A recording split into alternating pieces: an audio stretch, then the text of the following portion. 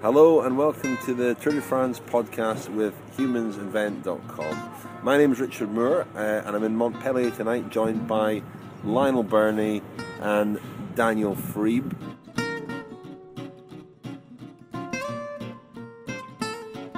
Lionel, would you be able to tell us exactly where we are? Well, we're sitting on the steps outside the Stade Yves du Manoir, which is the home of Montpellier Rugby Club, who uh, I think finished in about the top six in the French Rugby Union Championship last season. Jolly nice little stadium. It's not the biggest stadium in Montpellier. That's a that's across town where Montpellier Football Club play.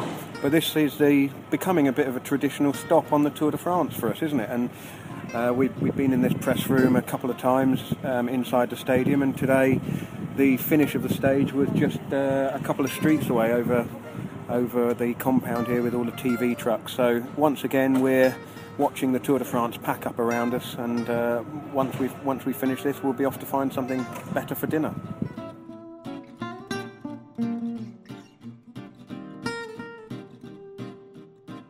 So yes, here we are in Montpellier, the scene of uh, many memories over the years. Uh, Daniel, you'll recall that a few years ago we had our folding bikes here. I think it was the day of the Team Time Trial in 2009.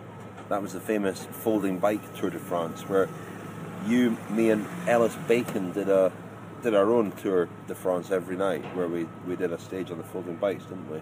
We did, and I seem to remember we set off from the start, which was about three or four kilometres away, mm. as the crow flies, and we found ourselves after about ten kilometres, a fairly mazy journey. After about ten kilometres, we found ourselves alongside the team time trial route, alongside Lotto, Silence Lotto, Silence Lotto, them. overtaking were, them. I think who were falling apart at the time. It was Yeah. actually it was even on a hill that we were overtaking. we were going them. faster. We were them. going well. We had good legs that day. This was in warm up, I'm assuming, not No, in the the, race the itself. actual race. No, this they, was they in the were race losing itself. People. They were. People were crashing. Yeah. Charlie We- I seem to remember, who was at the tour, was riding that day. He didn't look too good. We were, you know, we were drilling it though, weren't we? Rich? We were going really well. We did then get lost and almost missed the, Yeah. the stage entirely, and Sounds eventually found our way back. So we saw a whole other side of Montpellier that day. I can tell you. Other than that, it's a beautiful city. Um, we uh, just to finish. I'm sure people are curious about our, our Tour de France on uh, folding bikes. We held the prologue time trial in an underground car park. Do you remember that? Well, I think you and I rode, but Ellis wouldn't ride because he was. He was worried about insurance He, no, he was worried about upsetting the the Gardien or something, wasn't he? Yeah, they weren't. He wasn't very happy. It wasn't. He wouldn't. Have, he wouldn't have passed health and safety in Britain. But Daniel, we're very pleased to have you back with us tonight because you had a very close scrape yesterday with uh, while driving to Marseille. Yeah. I'm still, as you can hear, I'm still pretty shell shocked, but I am here. Are you able to talk about it? Um, I think you probably. I heard that you told the Eddy Merckx Marseille story very well yesterday. I'm sure Mm. you also covered my incident on the autoroute in, you know, Scary. painstaking in detail and did a very good job. No. Yeah, it was scary though. It was very scary. One yeah, the- yeah. I the- was the- shaken up for a few hours and um, missed the stage, which is one of those ignominious days where you. That I think I can only think of one. That's the, I think the first one in my Tour de France career when I've completely missed the stage. We've, I think we've cut it pretty fine and almost got Um, to the, almost yeah. missed the finish once or twice. No, we have missed another finish, and I was. I was Oh, I was, that the shoes? No, Rich. Actually, I think we got into the press room with about a kilometre to go. I don't think we did. Oh, I think Tamman and I did, and we dropped you off somewhere. Probably, probably. I don't know in the, the grottiest part of Bordeaux, Bordeaux. which is what you deserved after Just, that. just to absolute. Fill in here, this was the incident where, which was Brendan Gallagher wrote about in the cycling anthology Mm. Yeah, Tour de he France. name- But he didn't name you, Richard. But you left uh, a, a pair of shoes, uh, an Yeah. expensive pair of shoes Paul that were Smith. Were a gift in in the hotel and had travelled a couple of hundred kilometres down the road before you realised. Let's not get carried away here. It wasn't a couple of hundred kilometres. Let's not exaggerate. You had to turn back three apply days that sort of poetic license to some of your published work, Lionel. I, I think you know. Anyway, let's, just- I think just- we've, we've just- covered that enough. Well, just to just to say welcome back to Daniel, and obviously uh, for those who didn't listen in yesterday, I, I can't imagine why why people wouldn't have listened in yesterday. But Daniel ha- had an incident on the auto route where a lorry shed its load and a box smashed uh, the wing mirror and the windscreen, and I think it's a sort of reminder to all of us really that covering the Tour de France, although Perilous um, business. It's, it's you know you're, you're, we're driving around France. We're kind of you know we're covering hundreds of kilometres a day. Um, you know, we're packing everything up every every morning, and and you know, it, the tour hasn't really started until you've almost lost your wallet or been told off by the gendarme or or Like- you left the car keys in a hotel. Generally speaking, the day, any day of the year hasn't really started unless I've lost my wallet.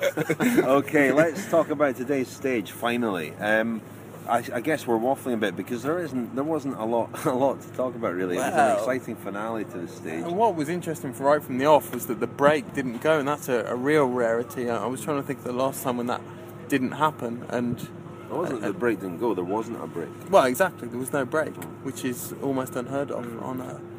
Everyone was anticipating the wind, weren't they? Um, Yeah. We we touched on it a bit yesterday and uh, in the preview, hoping that the the Mistral would have its revenge on the tour and, and cause a bit of chaos in the form of um, in the form of echelons, which are splits in the peloton.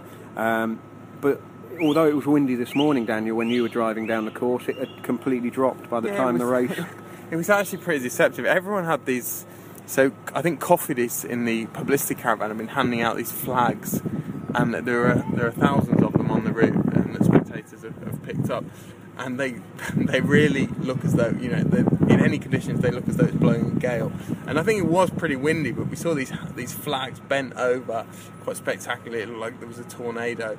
But um, I think it, they were fairly moderate winds, but I think strong enough for splits in the first half of the race but obviously no team was wanted to split it with 100 kilometres to go and have to drill it from there. And then in the second half of the race, there were really no, there weren't long sections where you were exposed. It tended to be gusts which lasted, uh, you know, for 500 metres a, a kilometre of the course, and then you would come to a sheltered area, built up area. So it wasn't really ideal for a sustained effort by, by one team or group of riders. It's a shame because we were looking forward to that, and uh, at the start I spoke to Garmin Sharp's director sportif, Andreas Klier, about the phenomenon of echelons and the skills required to uh, ride in the wind and the havoc that can ensue. So let's have a listen to him. Well, I'm here in Aix-en-Provence with Andreas Klier, who's one of the sports directors of the Garmin Sharp team. And when he was a rider, he was uh, one of the most experienced at riding in windy conditions. We often saw in the Tour of Qatar, he would be the man making the calls on the road for his team to try and get the echelons formed and break up the peloton. But first of all, Andreas, perhaps you could explain to our listeners exactly what an echelon is. That means that the peloton is uh, splitted through the wind in different different pieces. Let's say, depends on the, how many people there are in the field. Let's say 200. The road is six meters wide, so you have in one row 15, and behind them 15. So you have groups of 30 people, around 30 people. So this makes five groups. You just can't hold the wheel on position 31 in that case. So you fall into the second echelon. That means if the wind is from the left, the first rider of this small group is riding totally on the left side of the road. The last rider on the right, of course, and um, they are totally rotating all the time. It's like you're hitting the front maybe two seconds. And is that because the wind is so strong, it naturally wants to push you over to the other side of the road? So your heart rate starts to race if you're riding for a long period in directly in the wind. So you want to just get off the front as quickly as you can. Uh, it has something to do with the power. Right. I, I think you have a certain kind of power you can push on the pedal, and uh, you're moving anyway forward. And if the wind comes from behind side, it's the most dangerous. It can, which, which could happen. Uh, you're speeding up to let's say 65, 70 per hour, and uh, you you push maybe 400 and something watts. So how long can you hold that? Not not very long. And if you share your power output with 30 other guys or 29, it's of course easier. And you make out of 65 per hour, you make maybe 67, and that's the moment where the person 31 drops and make the second echelon. So the person 31, in uh, the I- ideal circumstances, he would move then also to the left totally, with again 29 in his wheel, and make the same thing like the first group. And therefore, you see many times in TV, uh, group one, two, three, four, um, for a long time in the same with the same uh, distance in between, like let's say 20 seconds, and you think as a spectator why, why they don't just close it because they are going on the maximum and it's impossible. And it's the echelons form typically when the wind is from either the left or the right, or it could be slightly cross headwind or cross tailwind, but Yes. it's generally when the wind is coming from the side that the echelons form. And so it's purely a matter of mathematics. There is only enough width for a certain number of riders. Yeah, that's very right. And so, what is it like when you're in, the, say, a second group or a third group and you're trying to close the gap? It's impossible. You just look to the to the group in front of you. It doesn't matter which group you are. And most of the time, like let's say in these races in Qatar, it's day by day the, the same 20 guys plus uh, five lucky ones. But the 20, the, the core of this first group is more or less always the same. And um, because you also want to be in the first group, you know, okay, Tom Boonen is very good in this, so uh, this is the guy you, you let also ride in front of you or behind you, and, and so on. And after maybe 2k, this group is is uh, is uh, is made, and then you try not to ride against each other. First of all, you try to ride with each other, even if it sounds strange, even if you're from different teams, uh, just to make sure that you will never be the 31 person. Because if these two come together, it's exactly the same thing again. So it's very stressful. So the reason we're talking about this today is because we're in the south of France where the Mistral blows, so there is the possibility of wind. But you were saying just before uh, we started this interview that it's a little bit early at the moment to know what the conditions will be like on the road. So how will you communicate that to the riders, and at what point will you know that the wind is up and perhaps a change of direction on the course will potentially cause some splits? I will ride with my car in front of the peloton like I did the last days to find spots where I think it is dangerous, and I try to stay as close as possible to the peloton. Let's say 20k in front. That the time differences are not, too big. That I say now it's a lot of wind, and uh, when they come, it's no wind or something like that. So I have to make sure calls. I have to make not too many that they really believe it. You're kind of the weatherman today, then. Is that uh, you're, you're It's looking not out? only for- the weather. I mean, sometimes you ride through villages where you say, "Oh man, when- when- if they are racing 18 to go, Mm-hmm. uh, it can happen a crash." And it's not that we are racing for for a stage victory in a flat stage, but of course we would like to come healthy into the finish line. These And- calls I also make. Yeah. And finally, what is it that makes a rider good at being in the right position when the wind is blowing? Because everybody wants to be in the first 30, but only 30 can. So is it a matter of luck or experience to be in that position, or do you just have to use your head to to, to predict what is going to happen when the when the direction of the course changes? I think you can't train this. It's like when you're born as a climber, you're a climber. Uh, TT is TT, and uh, echelon riding is also something very special, and therefore you always see the same people. Therefore, uh, you can't train it. Of course, the older you get, the more experience you have. But then, if you want to do it, you also on the other side need people who listens to you, and then uh, because if only you know it and you communicate, and then they think, yeah, yeah, thanks, Andreas. Yeah. Uh, it doesn't help. It's a team event. It's a team draw. So you have to do it as a team. If you don't have it, that's actually the key. Andreas Klier, thank you very much. I'm hoping for some echelons today. This is a humansinvent.com Tour de France podcast with Richard Moore, Daniel Friebe, and Lionel Birnie.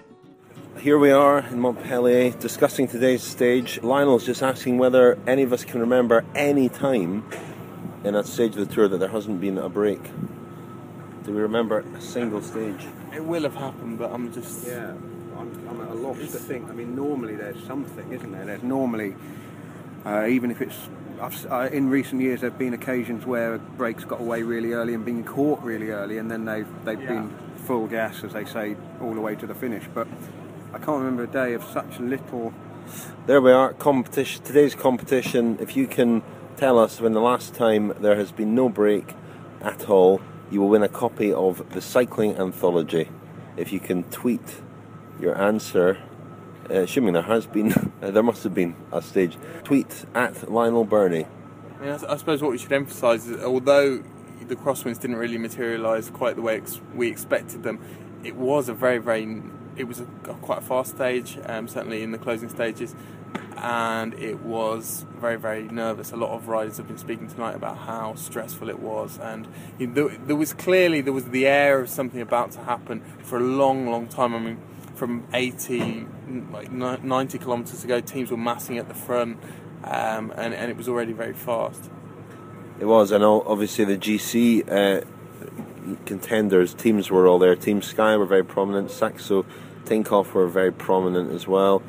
Geraint Thomas was, was doing a lot for Team Sky, which suggests he might be on the on the road to recovery. Um, and there were obviously the sprinters teams as well. Omega Pharma, Quick Step were actually pretty active all stage, weren't they? And uh, Rolf Aldag afterwards and Patrick Lefevere both suggested that maybe they'd been too active too early because they fell apart in the closing stages. Let's talk about those closing stages. Uh, Cavendish crashed with 33 kilometres to go. Um, it looked like quite a. We didn't see the crash, but judging from the state of his British champions jersey, which had looked very you know pristine, was was torn and dirty. He seemed to have landed on his left side, rolled onto his back, and um, he needed a change of bike. Then took him six kilometres. Actually, Aldag mentioned that the, the, the team car had been on the other side of the roundabout and almost didn't see him and almost disappeared up the road, which would have been a bit of a disaster because he needed a new bike. And it took him then six kilometres of, of hard chasing on his own to get back. And uh, it was interesting speaking to, to Aldag about that because we were wondering, I think, a few of us, whether he should have had teammates helping him. And he said, well, at that point, there's no real point because if you send eight riders back, or six riders back, or four, they can't really sit in the in the cars then, and there's a danger that all four get get left behind. So one rider on his own can. There is a kind of blind eye if he's crashed, you know, rather been dropped. There's usually a blind eye turn to sitting in the cars. Although famously, Cav's got in trouble for that before, or not got in trouble, but in that his first ever tour in 2007, do you remember the stage to Canterbury? Um, he, he he was knocked off there, and they ordered a barrage where they wouldn't let the cars um, sit directly behind the bunch and allowing allowing him passage back up to the bunch. Yeah, I mean the, the, the pros and cons of being such a big star. He often talks about the scrutiny he's subjected to as the world's number one sprinter. The cameras are always on him, etc., etc. But I think there are also benefits to it as well. I think. Well, I think at 33 kilometres to go, it had to been the final 20. I think it would have been different. Mm. But at 33 kilometres to go, they were happy. But you, you could see the effort it took. I mean, you know, even jumping from car to car, sitting behind his own team car for a while, he was putting big effort into that and watching it. As I say, it went on for six kilometres. Watching it, you thought, never mind his wounds. Um, this is going to take something out of his sprint at the end, and I think that's what happened as well as the uh, disappearance of his team in the closing kilometres. Yeah, it's, it's interesting though you, what you said about Lotto Belisol because obviously they were they were kind of down last night because Jurgen van den crash in, in the in the final uh, in the finishing straight yesterday, and he's he's injured and out of the tour. And so I spoke to Adam Hansen this morning, their kind of road captain or one of their road captains. I mean, they've got they've got such a strong lead out um, team, and uh, Adam was saying that it meant that now everything that Lotto Belisol is going to do in this race is, is for Greipel because now they don't have to worry about trying to protect um, Jurgen van den Broeck uh, because he's not here. He was there, kind of hope for a, a, a decent overall placing, um, probably a sort of outside bet for the podium. So their game plan this morning was everything for Greipel, and I think perhaps they had been criticised for getting a bit over anxious, a bit overexcited, and, and, and burning their matches too soon on the previous sprint stages. But today, you could see that they were really revved up um, and, and they got it pretty much spot on, I thought. What happened to Omega Pharma Quickstep, Daniel? I think they went too early. I mean, there's an interesting battle of wits taking place, isn't there, between those two teams? Uh, the Lotto guys spoke tonight about the timing of their effort and how they'd been told by their team manager, uh, Marc Sargeant, to only really um, go to the, f- the front of the bunch at around 2.3 kilometres to go you know, which was a lot later than yesterday. And I, I mean, I think it, it has become more popular. It has become more difficult for Omega Pharma and, and Cavendish's teams, not just Omega Pharma, but Sky and before them HTC Highroad. With time, um, more and more riders, more and more teams have deployed more and more resources in their sprint trains. And there are three really serious sprint trains operating in the race at the moment. Certainly, Argos Shimano are very, very powerful. I mean, I don't think in the last 1.5 kilometres they're particularly accomplished yet, but they are you know, they pose serious problems to Omega Pharma, and, and, that was really what disrupted them today. I think um, Kwiatkowski sort of lost control of the situation a little bit. You, Rich, you pointed out earlier watching it. Um, how nervous he looks and how he's constantly looking around. I mean, it's a huge responsibility for a guy in his first tour. I think he's 22 years old to be doing his job at I think about 2k from the finish. He does his job. Uh, yeah, I mean, yesterday as well uh, in Marseille, it, it, worked out very well for them there. But it was very noticeable that he did keep looking around, that he did look nervous, and he was looking for guidance. I think from Chavanel yesterday and today as well.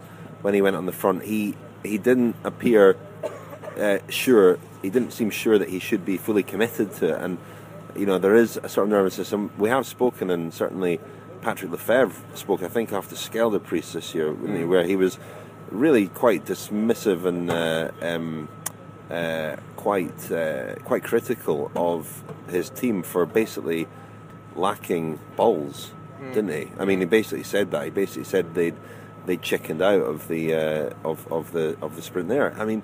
That's the other thing. The more sprint trains there are trying to set their men up, the more dangerous it is, and the more crowded out it becomes.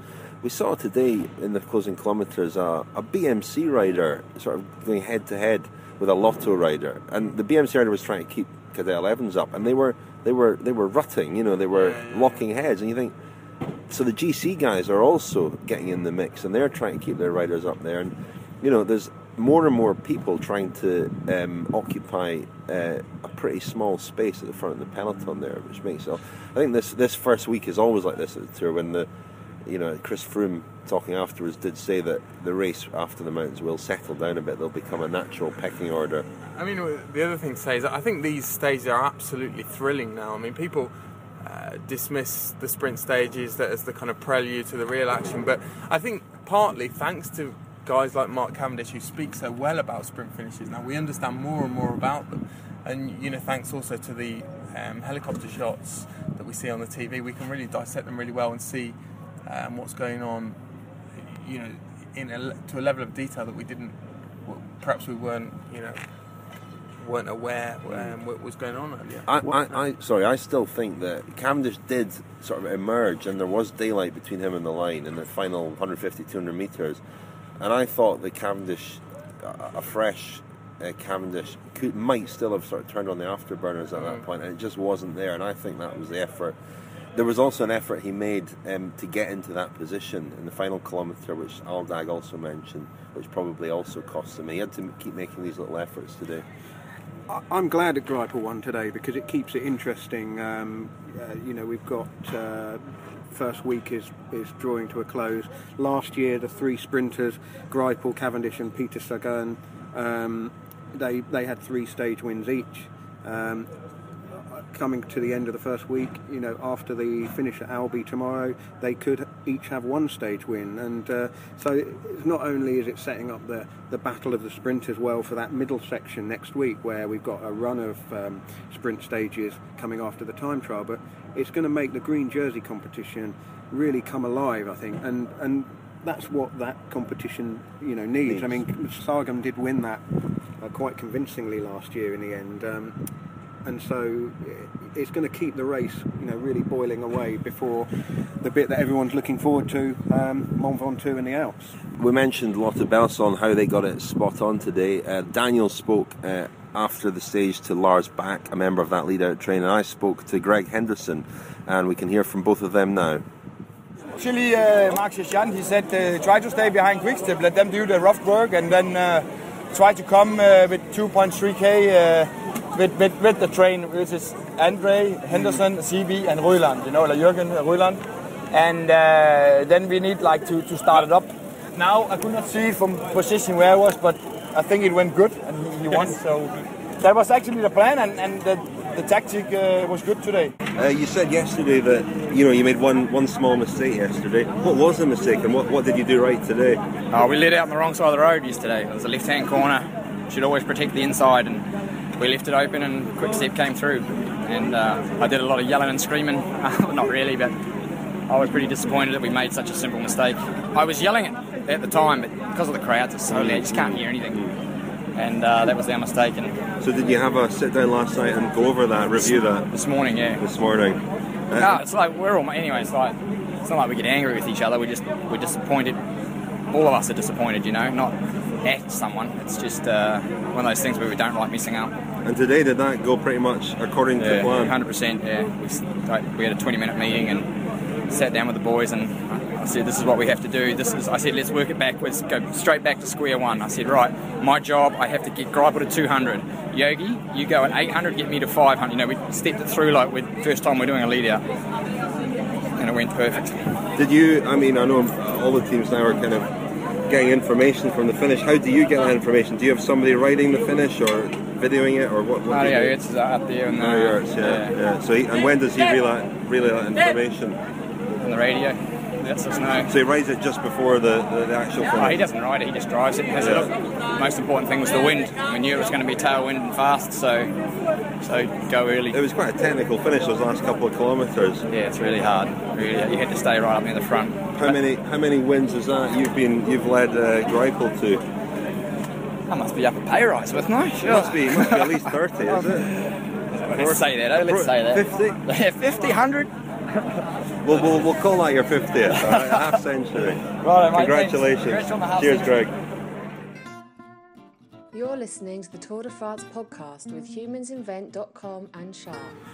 Here we are in Montpellier, chaps. Lionel, Birnie, Daniel Friebe, and me, Richard Moore. We've done a competition tonight already. We're going to mention, we've got another competition prize to announce, and a reminder that you can win a phone call from David Millar on the rest day by ha- uh, tweeting hashtag tour moment. Select your your favourite tour moment. There uh, there have been a, a flood of entries to that. Obviously, a lot of people wanting a phone call from David Millar on Monday. Uh, some really good ones, so keep them coming in, and a winner will be selected uh, before Monday's stage, before Monday's rest day, should I say? Um, I've also got a competition prize to announce because last night I mentioned this fight in the Vuelta in 1995, and a lot of people correctly identified the two riders, um, including uh, Dominic O'Brien, Brinley Davis, Gareth Enticott. But the winner uh, was the first one out of the blocks uh, was Mark Stringer, uh, who correctly identified them as Ramo Arrieta, the Benest- Banesto rider, and Leonardo, Leonardo Sierra from Carrera. Well worth watching on YouTube that fight between those two riders. They got off their bikes and started lamping each other in their cleated cycling shoes. Highly entertaining. Do you, do you get a jersey for that? Is there some kind of uh, Oh, sorry, the prize No, for- no, for, for, for most combative rider. I mean, is that? Yeah, that- we, we were going to do some prizes, daily prizes, weren't we? A couple of years ago on a podcast, we did a daily. They have on the on the tour a daily aggressive rider prize, and we did a, uh, an, uh, an inertia prize, a prize every day for the most lazy rider. Um, maybe we should revive that quickly, Daniel. There was a lot of debate about what inertia actually meant. Though, There there? It did spark a on for furious I debate. don't, I don't know why we didn't. We did just look it up. We kept looking it up, but we kept even arguing about the dictionary What definition. Yeah. Any pri- any nominations for inertia prize today, Lionel? I think it's pretty harsh, isn't it? You're riding the Tour de France and get accused of inertia. I mean, I think the wind was pretty. I'll, I'll nominate Simon Gerrans uh, for losing his yellow jersey but through through sheer laziness at the end, and that brings us nicely on to the new yellow jersey, Daryl Impey, uh, the first ever South African. We expected an African-born rider to wear yellow jersey this tour, but we expected it to be Chris Froome. I don't think anybody predicted Daryl Impey, but he took over the yellow jersey from his uh, teammate Simon Gerrans, the winner of the Inertia Prize, who lost five seconds, I think, just in, in a split at the end. Now, there was talk at the start of the stage that, that, that he would sort of try and engineer um, Impey into, into yellow because they were still equal on time and it needed uh, Impey to, to you know get a higher placing than him on, on the stage. But he's now got it on time. Was it not a deliberate? Did he not? Well, there is there, that's been mentioned certainly that it might have been deliberate. Um, I bet. a I'm double- sure. I'm sure Gerrans is saying that it was deliberate. a No? double a double benefit for Gerrans because not only does his the jersey pass on to teammate, but he wins the inertia prize on our daily podcast. Well, what happened was it, Impey is there is is the slightly better sprinter in those conditions than Gerrans. I mean, Gerrans has got a very very good finish, but um, not in not necessarily in the sort of uh, the more drag strip type sprint that we had today. Um, and there was just a little split, wasn't there? I think was it three seconds, that, that Five. three or five, Five. seconds. There we are, five seconds. Um, I think 15 or a dozen riders were, were ahead of the split, and so Gerrans sees the yellow jersey um, move across to his teammate Daryl Impey, and I, I think that's.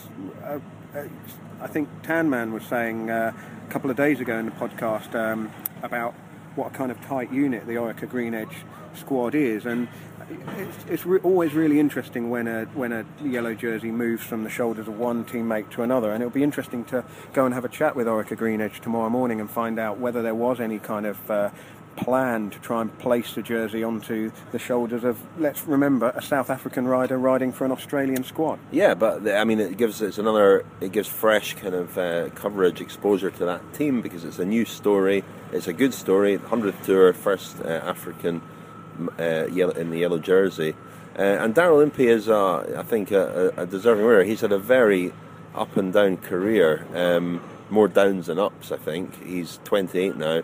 He um, he was part of the ill-fated Pegasus project, the Australian team, a couple of years ago. He was also had a terrible crash at the Tour of Turkey, where he was leading overall, wasn't he? And Theo Bos uh, ran him into the barriers there in the, in the sprint finish, and he, he had a his career looked to be in jeopardy at that time. Uh, he came back very well from that. He won a contract for a bit with Radio Shack, didn't he? He rode with Radio Shack for a while.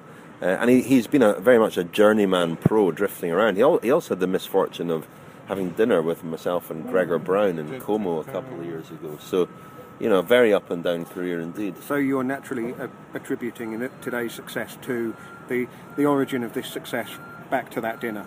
Yeah, well, it's certainly, I think we, I don't think it would be too much of an exaggeration to claim that. A very nice bloke, very nice chap, and uh, I think he will uh, do the yellow jersey proud. Any other business? I mean, apart from the Inertia Prize, we did talk about having uh, other prizes. Maybe, well, maybe, maybe take your suggestions on that as well. If anyone's got any suggestions for a, uh, a daily prize, they, they used to do the Pédaleur de la Charme, de la Charme, de Charme, the the most elegant rider award, a daily Hugo Koblet, the Swiss. The thing I noticed is quite well. You were talking about Kirienka today. Kevin Reza yesterday looked pretty damn good. No, So, do we? I mean, does does this award apply to the most stylish looking rider on the bike or the most stylish looking rider off the bike? could be either. No, Could be either. uh, Kirienka, I mean, unbelievably smooth. He, you know, he looks like I think I look when I ride my I bike. certainly don't, Rich. I can confirm that exclusively. Yeah. for the Just uh, his podcast. upper body doesn't move a millimeter. No, and uh, when you see him on the front, as we will do, I'm sure, in the uh, the two Pyrenean stages that um, uh, that are coming up, you know, it, it, it is metronomic. It's a bit of a cliche, but he, he he is one of those riders who just taps out a rhythm and makes it look incredibly easy. And and uh, w- watching on television, it is deceptive, but that sort of pedaling style does almost seem to iron out the gradient and make it appear flatter than it actually is. Funny old sport, isn't it? When uh, a guy like Kirienka uh, is a domestique to a rider uh, who doesn't really have the same elegance. Chris Froome, who looks, as David Millar said last year, like he's riding a motorbike that's going too fast for him. Yeah, it's not the it's not the prettiest style, is it? But um, you know, style doesn't necessarily win the Tour de France. It's uh, it's about turning the pedals over as, as quickly as you can. I mean, an obvious thing to say, but yeah, it's not the most comfortable thing to watch. And I think a lot of sports where uh, I think certainly in France, the the public, the public, the TV, the commentators and the pundits um, they do champion people who have got a kind of aesthetic charm, and I don't think Froome is necessarily going to win, uh, win, win the sort of um, hearts for his style on the bike necessi- necessarily.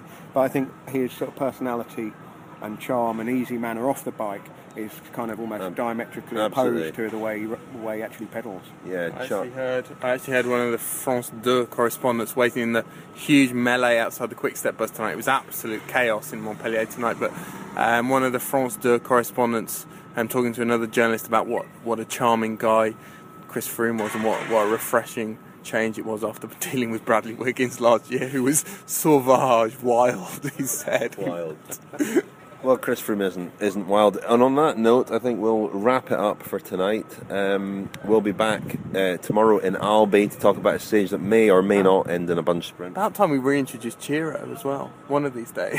Chiro is champing at the bit to come back on our podcast, as is Tan Man. We're fighting these guys off. We had to find a corner here that, no, we that might- where they won't find us. We might just throw Chiro and Tanman in the in the ring and stand back and see what happens. Brilliant. Yeah. Tanman and his tankini. We can go for a beer and uh, let them get on with it. Let 'em get on with it. Goodbye, everybody. Yes, thank you for listening once again, and we'll be back with you tomorrow for more chat on the 2013 Tour de France. Bye.